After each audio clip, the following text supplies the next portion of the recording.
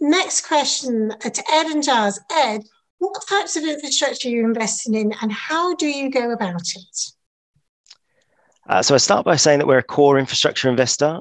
It is important to reiterate that given the broadening of the infrastructure sector that's occurred over, over time. Uh, and what we're looking to invest in is essential assets, real assets uh, that deliver resilient cash flows from a protected market position.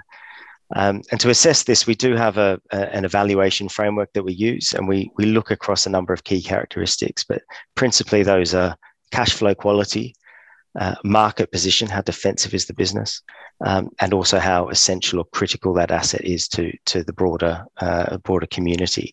And we use this to screen assets, guide our due diligence, um, etc. Fundamentally, though, we also believe in diversification and putting together assets right across the core infrastructure landscape, um, across different sectors, across different revenue types, across different geographies, and put together these complementary risk characteristics to create more uh, robust and, and resilient cash flows that ultimately flows through to, uh, to the dividend to investors.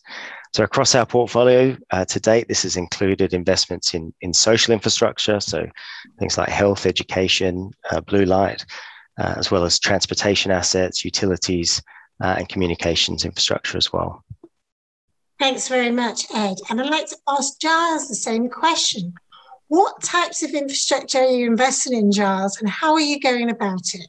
Well, this this Q and A is about inflation, but but the starting point for any discussion on revenues or assets is is how confident you are you're going to get paid in the first place. Because you can have all inflation linkage you want, but if you're not paid in the first place and you're not dealing with credit worthy counterparties, you're in trouble from the get go.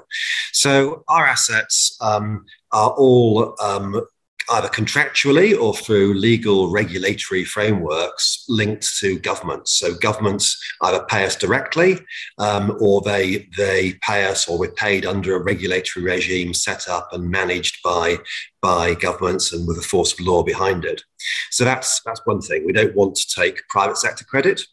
Second thing is we want to be paid broadly so we're not taking risk around how much use an asset is made of.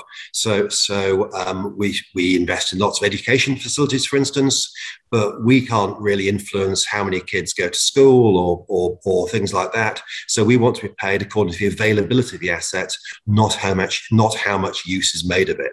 So we don't inv- invest in toll roads, for instance, because we see that as having a different risk characteristic because the revenues there depend on how many people use the road. So the government backing is important. The, the way we're paid is important and the countries we work in are important. So we don't want to take undue political risk. We only want to invest in higher tier confident countries we're confident in, which means for us, the UK, um, Northwestern Europe, uh, Australia, uh, the US, Canada, countries like that.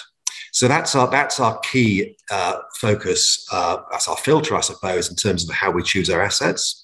And then we have many, many aspects of our business which are in common with, with, with Ed at HICL. But we're looking for assets which give us that long duration, an average life of 20, 25 years for the, for the assets, and critically, assets where the payments we receive from government or which are guaranteed by government or which are regulated by government do have this inflation linkage. So we're very confident about the future for infrastructure because these macro trends we hear about all the time mean we need we need we need new infrastructure.